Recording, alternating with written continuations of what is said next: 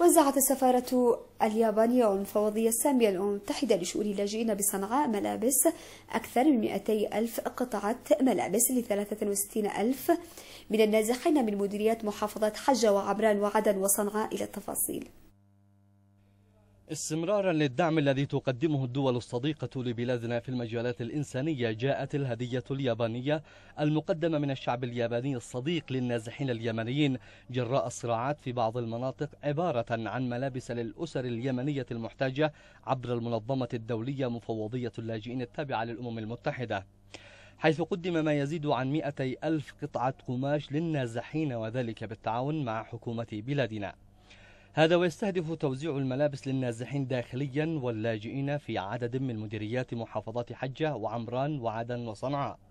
آه، المناسبة هذه هي مناسبة سعيدة تبين عمق العلاقة بين الشعبين والحكومتين اليابانية واليمنية. نشكرهم جدا على هذه وهذه أول مساعدة عينية تأتي بهذا الشكل. إحنا اليوم في حال تدشين لهذه المواد ونرى إن شاء الله أو نتمنى أن تكون أن تنال رضا النازحين بهذا بهذا الأساس. دور المنظمة المنظمة العليا أو المنظمة السامية للشؤون اللاجئين دور كبير جدا وأساسي في مجال مساعدة النازحين وبدون بصراحة لم تكن اليمن الحكومة اليمنية قادرة على إيواء النازحين ومساعدتهم في هذا الجانب.